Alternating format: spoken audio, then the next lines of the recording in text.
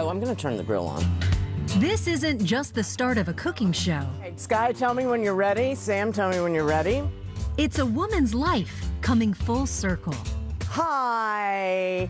Welcome back to Mad in the Kitchen with me, Madeleine Smithberg. Madeleine's journey began more than three decades ago. She was young, in love, and dreaming of working in late night TV. Then, on the same day, her boyfriend broke up with her, and she landed a job with David Letterman. My heart was broken and my dreams came true in exactly the same second. Hey, look, it's our old friend Madeleine Smithberg.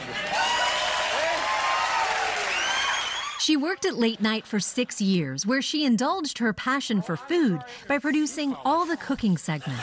I'll put just a little bit in there, not too much. It was magical.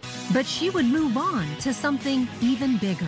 The Daily Show was created by me and my friend and neighbor, Lizz Winstead. Madeleine didn't just co create it, she hired some of the cast members who became household names. Stephen Colbert, Steve Carell, uh, Mo Rocca, Ed Helms, Rob Corddry, Lewis Black.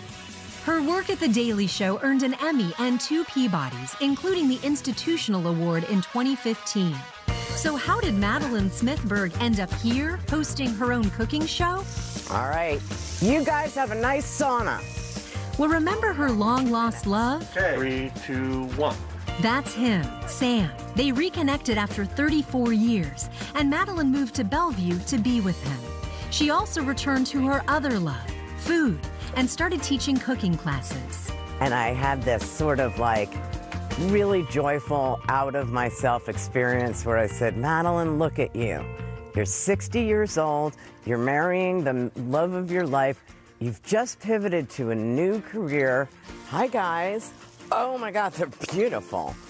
The pandemic brought an end to in person classes, but it also brought Madeleine full circle. Rather than booking other people's cooking segments, she started hosting her own. Mad in the Kitchen has earned thousands of views on YouTube and a growing fan base. How about that for dinner?